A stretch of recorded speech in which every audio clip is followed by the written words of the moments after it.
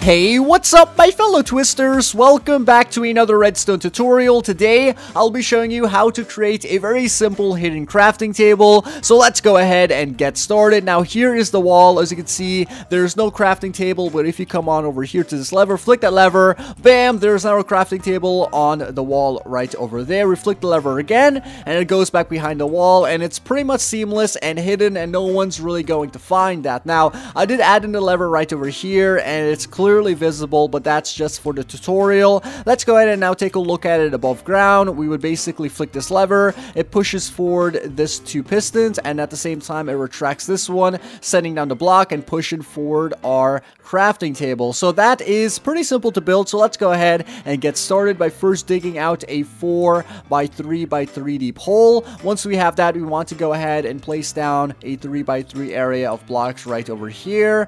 Place down a block right on this edge edge, on that edge, and finally on this edge. Grab yourselves a bit of redstone dust, place four right over there. Place down two redstone repeaters in between these blocks, set them both to four ticks. Once you have that, place down a redstone torch on the face of this block, place down a sticky piston facing up, place a block on the top of that and this is going to be the block for our wall which is going to be retracted and then our crafting table is going to come through that. Then what you want to do is basically build up one block over here and then place two sticky pistons like so and finally, the crafting table on the face of that. So there we go, bam. And now we have pretty much half of the system now completed. Now what we need to do is place down a block right over here, cover up this bit of redstone, bring it across here, and then kind of cover up the entire area. Place down a bit of redstone here, here, here, and there. Place down two redstone repeaters there and there. Set this one to four ticks, set this to two ticks, and bam, there you go. That is now our entire system. Now, when you're going to activate this, you want to have have the input go into this block. You don't want to activate this redstone. So we basically place on a lever and turn it on.